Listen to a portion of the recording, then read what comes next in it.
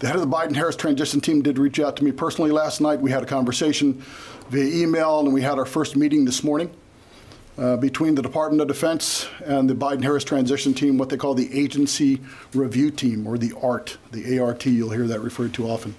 This is aligned both, once again, with the Presidential Transition Act, the White House, and Biden Harris Memorandum of Understanding between those two organizations and DoD policy. We are aligned with our statutory requirements. We are executing our responsibilities under the Presidential Transition Act and our DoD policy. We're looking forward to continuing the process with the Biden-Harris transition team in the near future and throughout the transition period. Uh, first meeting today was by video teleconference, virtual. Uh, good productive meeting as we kind of laid out sort of the ground rules.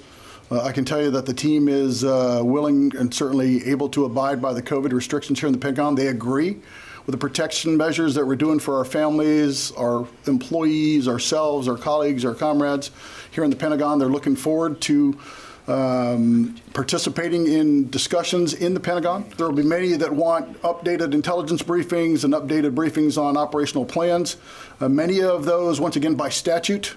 Um, one of the many changes over the last 50 years, 57 years of the Presidential Transition Act is to allow the Department of Justice and the Federal Bureau of Investigation to initiate background investigations and security clearances on many of the agency review team leaders. So many will come here with top secret clearances adjudicated, investigated and adjudicated by the Department of Justice, reciprocated by the Department of Defense, which will allow them access to intelligence. I spoke with uh, with uh, the chief of staff today, um, and he is uh, he has assured me that uh, Tom Muir is the, is the lead on this, and that he's going to be uh, uh, working with Tom, and Tom is going to be the one working with the the, the team today.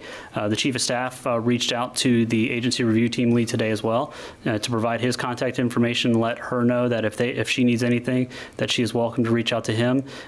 His goal is to be uh, the the touch point for the secretary and ensure the secretary has has insight into what's going on and to make sure that the transition is successful.